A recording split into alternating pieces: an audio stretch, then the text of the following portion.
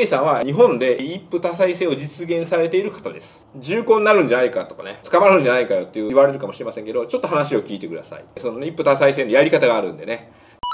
あなた運がいいんだってはい、こんにちは。占い師ケンケンです。本日もね、ケンケン TV やっていきたいと思います。照明とかね、変えてみたんですけども、どうですかね？変わりました？何か？僕ね、あんまりよくわかんないんですけども、撮影班の人に任せてるんですけども、少しずつでもね、この動画を良くしようと思ってね、頑張っていってるんで、ちょっとでもね、皆さん何か分かりにくい点とかね見にくい点とかねここが良くないぞみたいなのがあればコメント欄に書いてくれれば改善していこうとね思いますんでよろしくお願いします。それでは本日の質問にねいきたいと思います。質問。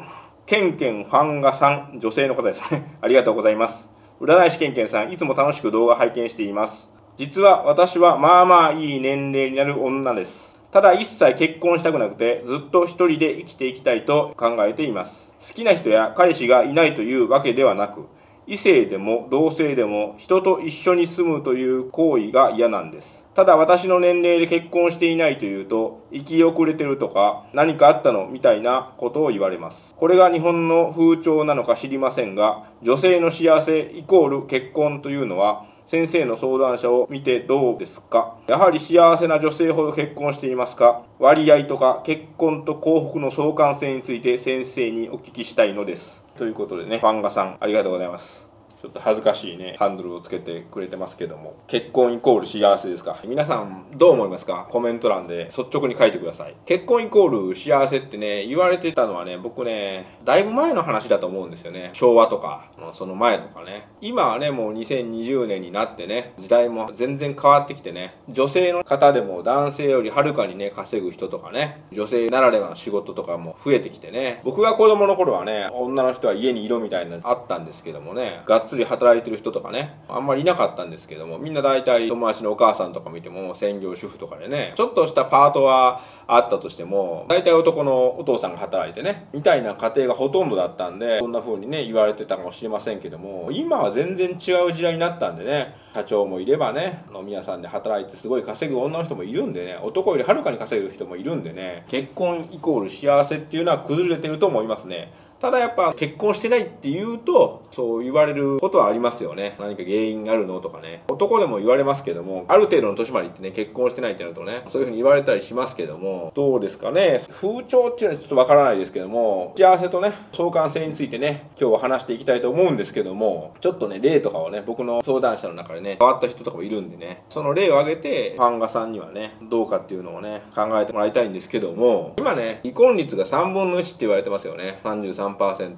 これってね結婚して離婚をしている結果の数なんで離婚したくてもできてないとかね。戸籍上ね離婚をしてない。別居してるけども離婚はしていないとか。子供がいるからね。子供が成人するまでは籍入れとこうとかね。仲良くなくてもそういったね夫婦の人もいるんで実際33%以上ってことですよね。半分ぐらいはね離婚するんじゃないですかね。私の占いの相談者のね30代以上の女性の方とかもほとんど90%ぐらいは離婚の相談ですね。離婚したいけどもこの後人生どうですかとかね。離婚するけどもどのぐらいお金が取れますかみたいな弁護士に相談されてみたいな質問とかしてくれる人もいますよね。大体原因が一番お金ですね。ダントツの一番お金ですね。やっぱお金がないとうまくいかないみたいでね。一番の理由がお金。で2番が浮気。3番がまあ酒ギャンブル。が大体離婚の原因のね主なところですよね。定番ですよね。変わったので言うとね旦那の趣味が嫌でとかね構ってくれないとかね細かいのにすればいろいろありますけどもその中でもね残りの10%ですかね。10%はね結婚して幸せですっていう女の人もねもちろんいるんでね。中にはねそういう人ももちろんいます。これ見てる方どうですか？やはり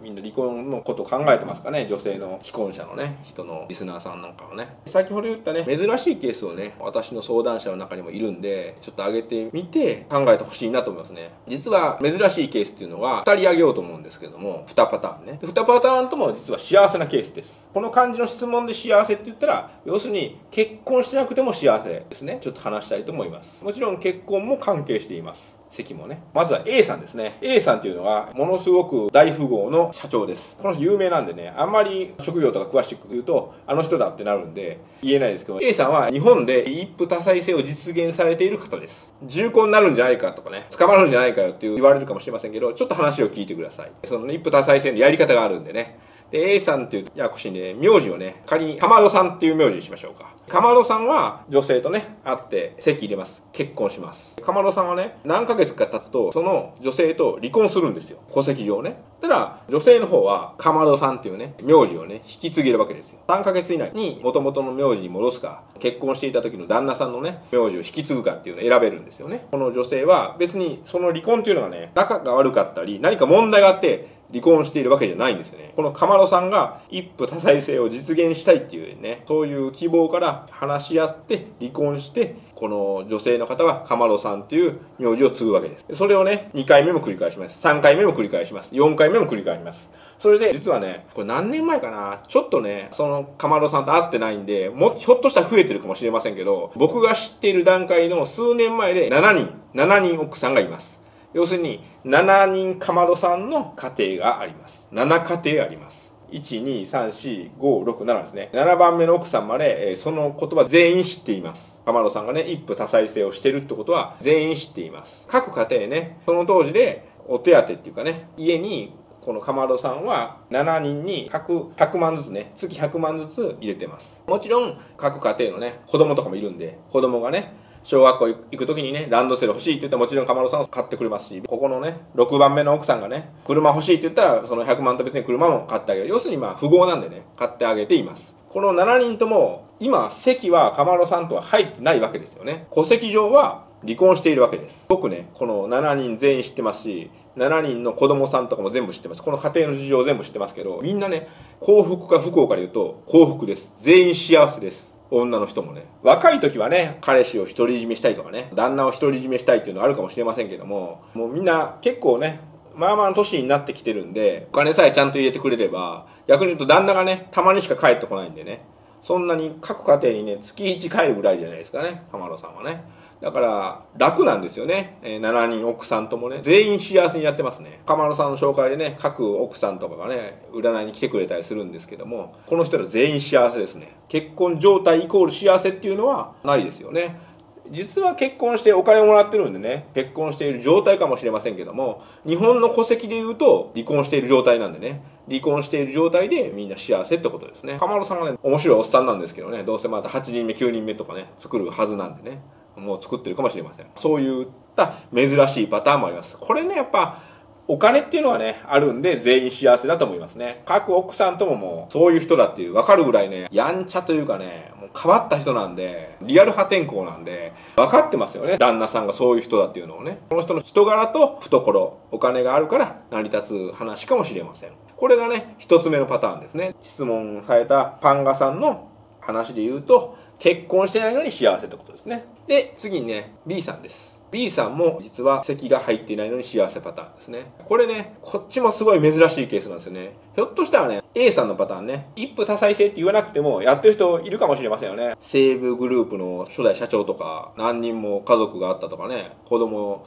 いろんなとこにいたとか、そういうね、お金持ちの富豪の方だとね、そういうパターンあるかもしれませんけども、B さんはね、かなり珍しいケースですね。実はね、B さん、もちろん男性ですよ。B さんの結婚相手っていうか奥さんですね。奥さんね元お母さんなんですよね。これねちょっと特殊ケースなんですよ。今私言ったお母さんっていうのは実のお母さんではありません。B さんのお父さんが例えば B さんが二十歳としましょうか。お父さん50歳としましょうか。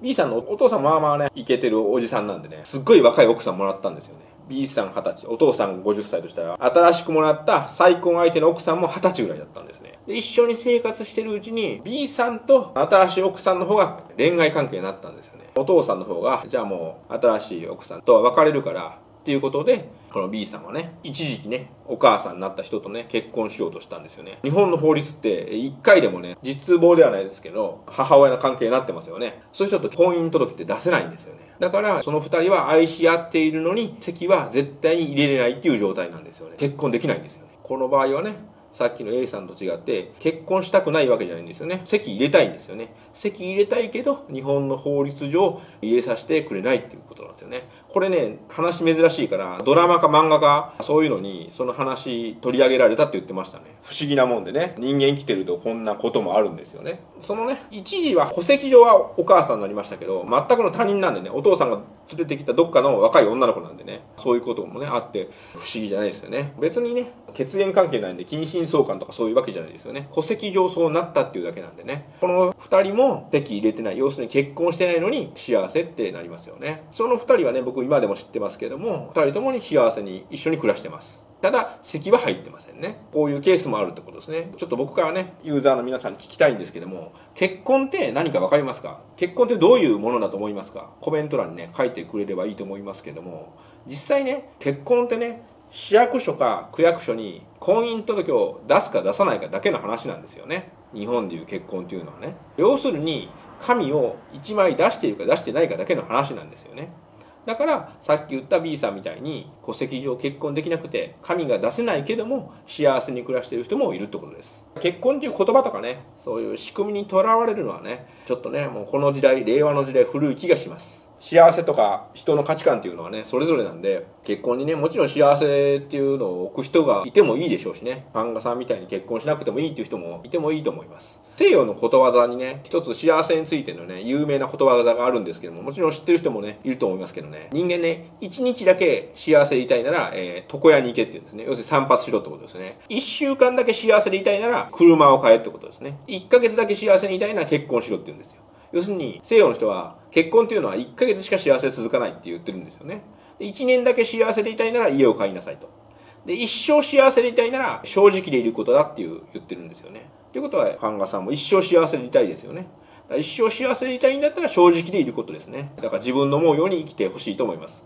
結婚にとらわれる必要はないと思いますね。そう言っててもね僕の相談者でも一生結婚しないって言ってる女性もいるんですけどもある時パッとね、いい男性と出会ってね、結婚しますって言ってくれる人もいるんでね、人生って設計図通りにならないし、思い通りにならないんで、結婚しませんって言ってても、いざパッと結婚しますってこともあるんでね、それはそれでいいと思います。好きなように正直に生きてほしいと思いますね。じゃあね、今日はこの辺でね、質問終わりたいと思います。他にもね、こういう質問でもいいですし、この間やったダイエットの質問でも何でもいいんでね、気軽にコメント欄や質問フォームから何でも質問ください。よかったらね、高評価、チャンネル登録もお願いします。皆さんも一緒に運気を上げていきましょう。それではご視聴ありがとうございました。